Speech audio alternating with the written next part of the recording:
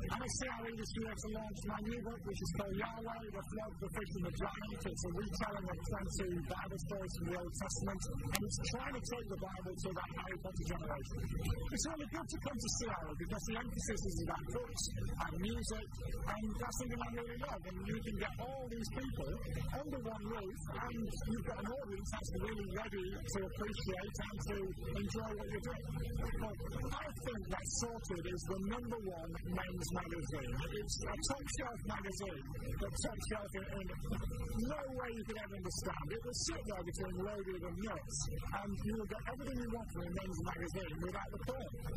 And it's a fantastic read. It covers everything from sports to celebrity to real life issues. And as a writer for Sorted, it's, it's my favourite thing that I do. I just love being able to write for Sorted and talk to men about our lives in a really open and frank way, and yet know that it's not going to be jaded with a lot of things that are in men's magazines.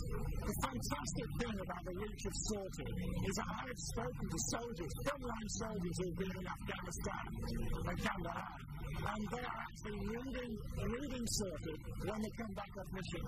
And for me, knowing that, I was speaking to a, naval chaplain the other week, he said the only problem with Sorted was they can't get enough copies. And to me, that is a real testimony that was reaching men and also women some great news and great stories and great pieces. And there's a Facebook campaign about Yahweh, the flood, and the giant, because many retailers in, the secular market are reluctant to take this book. They'll take all my other books, they'll take my books about vampires and ghosts and demons, but they won't take this book because this book is based on 20 Old Testament stories. It's cutting edge Christian writing, but it makes a lot of people feel very uncomfortable.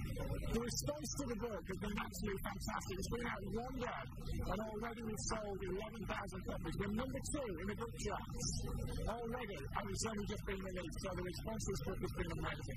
Join the Facebook campaign. If you want to join the Facebook campaign, go on Facebook, have a look, join this campaign to make Yahweh, our God, number one.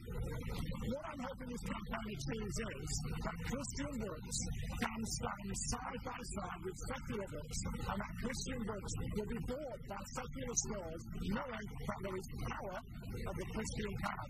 That our money, the money in our pockets, is just as valuable as the money in the of who's in the church. And what they'll be surprised at is that many of their so-called secular customers are in fact Christians, and this is what Christians want.